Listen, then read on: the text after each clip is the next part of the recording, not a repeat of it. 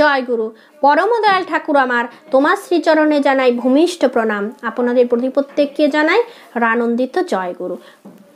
পরমদয়াল শ্রী শ্রী ঠাকুর নিজ মুখে বললেন, যে কাজ করতে আর যে কাজটি করলে আমরা হাতে না হাতে ফল পাই। কি কাজ? আজকে ইষ্ট প্রসঙ্গে আমি তাই আলোচনা করব। শ্রী শ্রী ঠাকুর বললেন, আমি আপনাদের যখন যা করতে বলি তা কাটাই কাটাই করবেন। তাহলে ফল আপনারাই পাবেন। আপনাদের আমি যা জিনিস দিয়েছি, তা একদম সাচ্চা মাল আপনারা পেয়েছেন। এটা যদি মেনে চলেন, তাহলে আপনাদেরই লাভ। লাভ লোকসানের বিচার না করে কোনো স্বার্থ কিংবা প্রত্যাশা না রেখে আপনারা নিঃসন্দেহে যা দিয়েছি তা করুন। না হলে কোনোভাবেই রক্ষা করা সম্ভব নয়।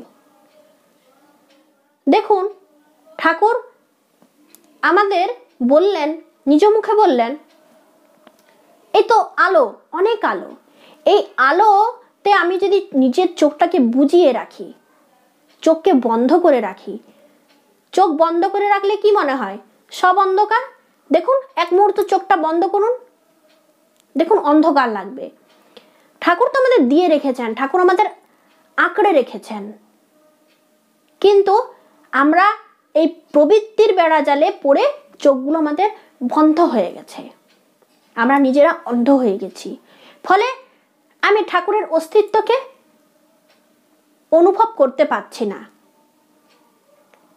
আর অনুভব করতে পারছি না বলেই আমি শান্তি পাচ্ছি না। সর্বক্ষণ মনে হচ্ছে অশান্তি, শুধু অশান্তি। তাহলে কি করব এখন? ঠাকুরের কি দীক্ষা নিলে সব ঠিক হয়ে যাবে? দীক্ষা নিয়েও তো অনেকে কষ্টে ভোগেন। দীক্ষা নিয়েও তো অনেকে কষ্ট পাচ্ছেন। দীক্ষা নিয়েও তো অকাল মৃত্যু হচ্ছে। তাহলে দরকার কি দীক্ষা নিবা কোনো দরকার নেই। দীক্ষা নিয়ে শুধু বসে থাকলে হয় না। কর্মী বৈঠকে পরম পূজনীয় শিশি বাবাইদা বললেন, তোমার হাতে একটা পাখা ধরিয়ে দেওয়া হলো। আর তুমি পাখাটি নিয়ে বসে থাকলে তাহলে বাতাস পাবে না। পাখাটাকে নাড়াতে হবে। নাড়ালে বাতাস আসবে। আরও একটি কথা বললেন। বললেন যে, ওই যে দেশলাই বাক্স দেশলাই বাক্স থেকে খাটি বার করে ওই বারুদের সঙ্গে দেশলাই দেশলাই ঘষলে বারুদের সাথে তবে আগুন জ্বলে, আগুনের উৎপত্তি হয়। এই যে আমাকে একটা কর্ম করতে হচ্ছে।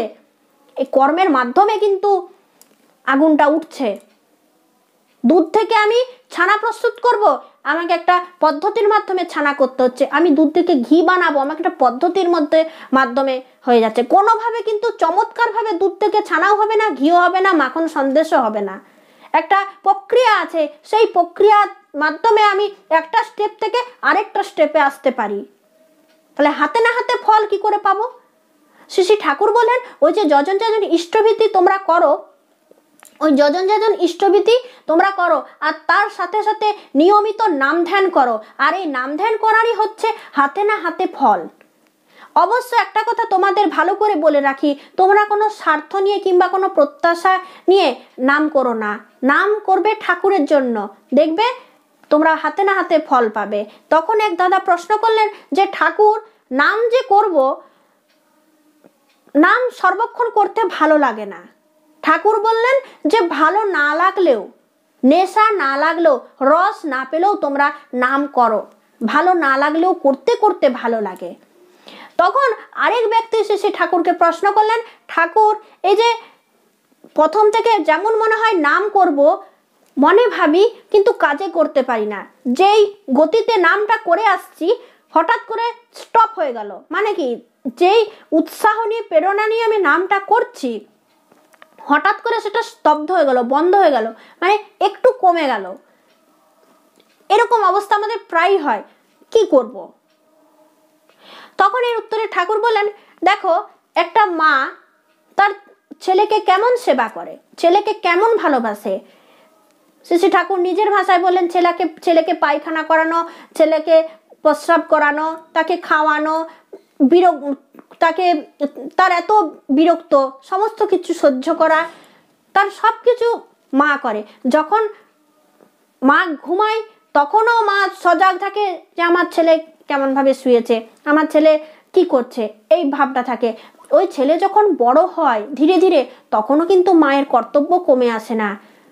তখনও মায়ের অনেক কর্তব্য ধীরে ধীরে বেড়ে যেতে থাকে। ছেলের চিন্তা মা সর্বক্ষণ করে। এক্ষেত্রে তো কোথাও কম দেখা দেয় না, তাহলে নামের ক্ষেত্রে কেন কম দেখা দেবে? মায়ের সঙ্গে ছেলের টানটা কীরকম? কীরকম? শ্রী ঠাকুর এই উদাহরণ দিয়ে বোঝাবার চেষ্টা করলেন। তাহলে আমাদের এই নামটাকে বন্ধ করা চলবে না। এই নামে না অনেক শক্তি আছে। আমরা নিজেকে আপডেট করতে পারি, নিজেরা পারফেক্ট হতে পারি, নিজের ভুলটা হাতে না হাতে ধরতে পারি আর প্রবৃত্তির বেড়াজাল থেকে মুক্ত হতে পারি। একমাত্র নাম করলে। নিয়মিত ঠাকুর বলেন, নামের নেশা লেগে যাওয়া ভালো। নাম করতে করতে আমাদের যে মস্তিষ্ক, সেটা পরিষ্কার হয়ে যায়, অলসতা চলে যায়। এইভাবে বোধশক্তি আসে, মানুষকে আকর্ষণ করবার ক্ষমতা বৃদ্ধি পায়। আর চেহারা চোখ মুখ উজ্জ্বল হয়ে যায়। তার জন্য নিয়মিত আমাদের ভালো থাকার জন্য নাম, ধ্যান, যজন যজন ইষ্টভীতি শ্রী শ্রী ঠাকুর করতে বললেন। আজকের ইষ্ট প্রসঙ্গ এখানেই শেষ করছি।